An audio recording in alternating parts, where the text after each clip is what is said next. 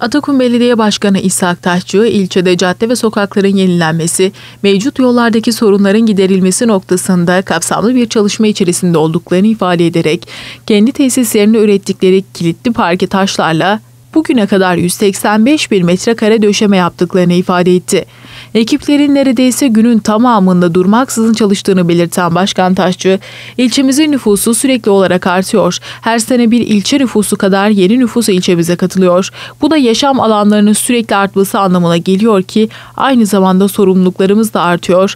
Bunların başında cadde ve sokakların düzenlenmesi geliyor. Kapsamlı bir çalışma programıyla hareket ediyoruz. Ekiplerimiz günün neredeyse tamamında durmaksızın çalışıyor diye konuştu.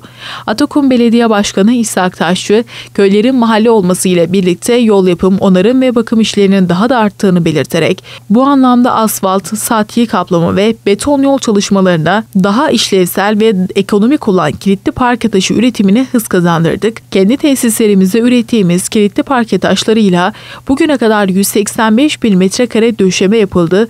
Çalışmalarımızla birlikte sorunlar çözülüyor, eksikler gideriliyor ve sonuç olarak Atakum her geçen gün daha da güzelleşiyor ifadelerini kullandı. maanden